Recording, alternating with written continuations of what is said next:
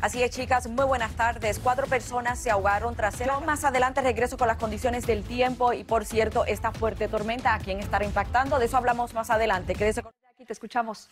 Bueno, hoy sí tenemos de todo nuevamente en el menú del tiempo, chicas. Hablamos de dos tormentas invernales justo hacia el centro de los Grandes Lagos. También tenemos esta que está generando actividad de precipitación blanca sobre Denver, Colorado, obviamente en el Aeropuerto Internacional de Denver. Esto va a provocar retrasos, al igual que para ustedes en el noreste del país, más bien en Upstate, Nueva York, hacia Maine. Tenemos esta actividad de nieve. Pudiera provocar algunos acumulados y es de gran interés para todas las personas, los motoristas que tienen que transitar en la Interestatal 84, en la 89, en la I-95. Así que por aquí no se descarta la posibilidad. Ustedes saben, lluvia helada, las carreteras van a aparecer pistas de patinaje. Así que por favor hágalo con muchísima precaución.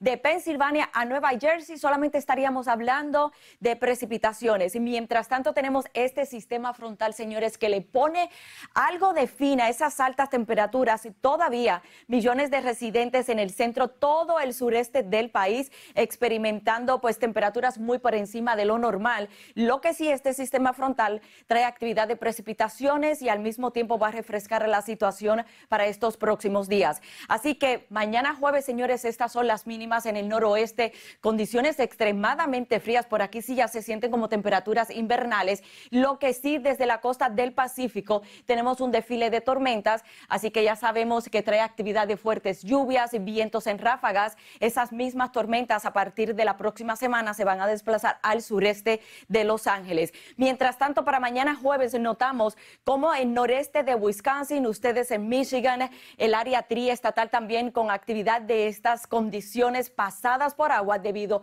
al sistema frontal que está asociado con un centro de baja presión. Así que desde Texas más bien hasta Tennessee tenemos fuertes lluvias. Así que le dice pues bye bye a esas altas temperaturas muy por encima de lo normal.